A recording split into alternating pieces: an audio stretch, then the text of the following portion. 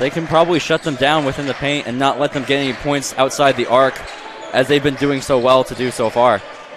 Ciclori gets the first points of the game for the Panthers. Both teams out in man. Quick ball movement from the Terriers. And Calco trying to go inside for Dupree and stolen away by Canabano. Leaves it for Henry who lays it in. So it'll be Limcalco to inbound. Gets inside for this. Deschardins and he's blocked by Henry. They draw some charges. Henry inside for Bose and the reverse lay.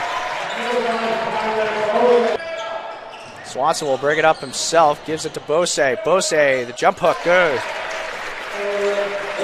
Once again, just too much room. Next whistle. Had not. Stripped away by Henry. Henry floats it down for Bose and hammers it home. Timeout Terriers. 10 0 run for the Panthers to start here in the opening five minutes. He came in for uh, or Henry there with the bank, say the least. But Bose shooting two at the line. Hits the first. Anymore. Goes two for two. One of the things about Phelan is he's looking like a pretty good playmaker as well, not only just scoring points. Ciclori, the corner three. Back to Rochi. Bose dribbles it back to the top of the key. Finds Barr. Rochi, nice pass to Henry who lays it in. Points, and they're not doing a great job of it so far, so looking to see. Henry with the steal and will lay it in easily on the other end. Canabano checking in for Dean. And Canabano gets another steal.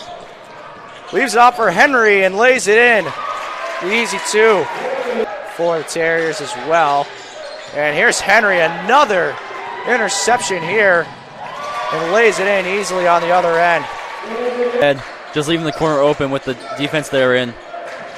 Bose trying to go for another steal. Canabano trying to come in. Swanson with it. Lays it up for Bose on the alley oop layup. Really looked like Thompson was just ready to lay it up if. Uh, Swanson, what a spin move. Oh, baby. So Rachi with it. Rachi gets the screen from Pierce. Drives it in. Pull up Jay. Good. Right now, out on the court, just doing a really good job on defense. Making Thomas really fight for any points they can get. Rachi gets the Thomas drive in, lays it in. Bench loving that from Thomas. Barr kind of getting away with a little forearm shove there. Barr kicks it out to Pierce. Pierce for three. Good!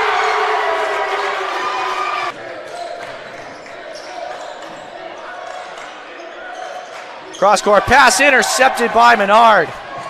Menard drives it in. The layup is good.